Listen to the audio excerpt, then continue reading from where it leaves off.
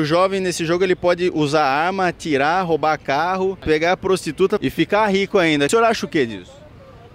Ah, se eu fosse mais novo eu ia fazer isso também.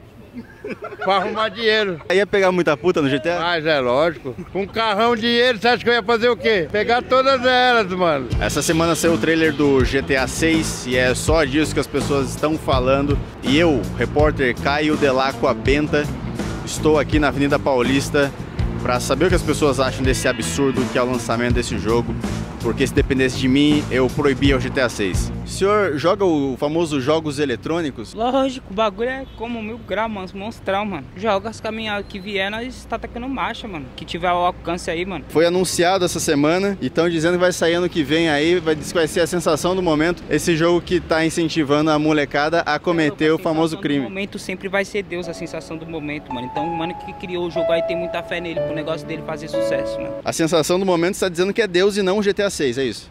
É. Logo menos vira o antigo, porque o 7 é o 7, mano. Então pode estar tá lançando o GTA 8, que importante vai ser Deus. Sempre. Concordo com o senhor. Concordo até Aqui, ó. hoje, mano. O que você já fez no GTA e na vida real também? Aí não posso falar. Garota de programa. Também já fui. Droga. Também. Casa de striptease. Porra, cara. Roubar carro. Não, aí não, porque eu não acho justo. Tudo que tá no jogo eu já fiz, assim, toda a violência, tudo isso. Mas eu. Já roubou um jato. Dá pra pegar a prostituta também no jogo, sabia?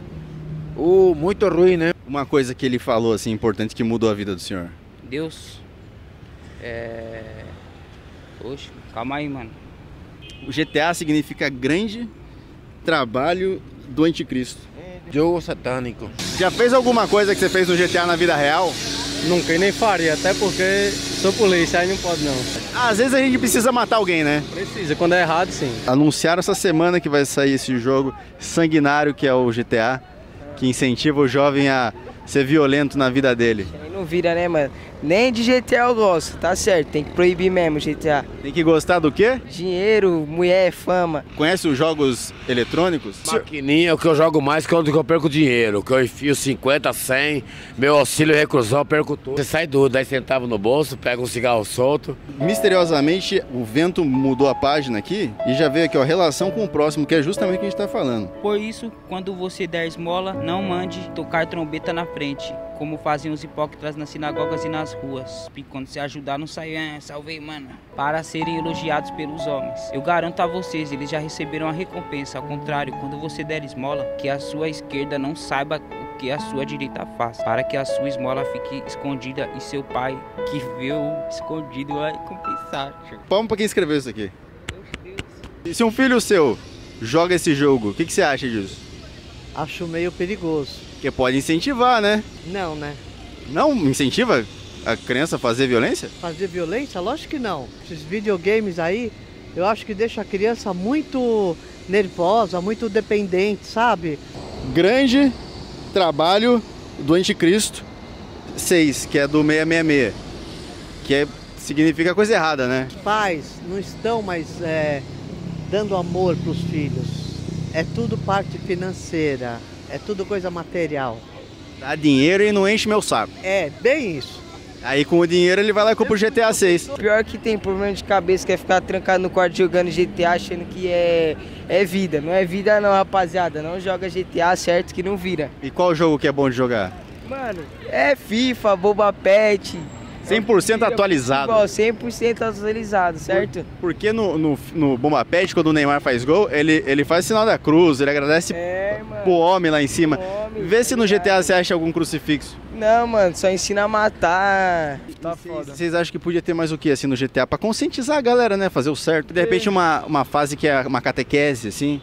É, seria interessante, uma fase de catequese, é, educação, professores, né? É. Acho que seria uma. Se o chefão do jogo fosse o anticristo, de repente? Ah, e colocava, tipo, uma fase com uma cruz bem grande, assim, algo que influenciasse as pessoas a seguir o caminho de Jesus, assim. De Jesus, né? É, algo amém, uma Bíblia. Amém, amém. Acho que de Jesus e até, de repente, ia querer participar. Fala, põe eu no jogo aí. Põe eu como um personagem na história aí. Você é cristão? Sou. Eu sou o cristianismo. Tipo assim, eu fiz muita coisa errada. Acabei tirando a vida de algumas pessoas. Não é pra rir, não é pra rir, pô. Pô, não é pra rir. Não tem graça, não tem graça. Quem que, quem que mente sobre ter tirado a vida? Você acha que alguém gosta disso? Vou falar com ele, só que é só ele que tá interessado no que eu tô falando.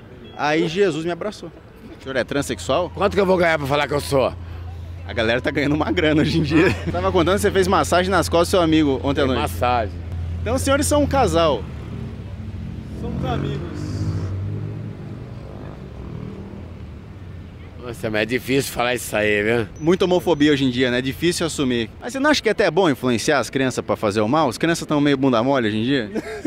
Com certeza, absolutamente. Pô, sabe qual era a minha diversão na minha época? Eu tive um cemitério, matava bichos e enterrava. No seu cemitério você já chegou a enterrar o quê? Cachorro, gato, rato, sapo, lagartixa, barata, formiga.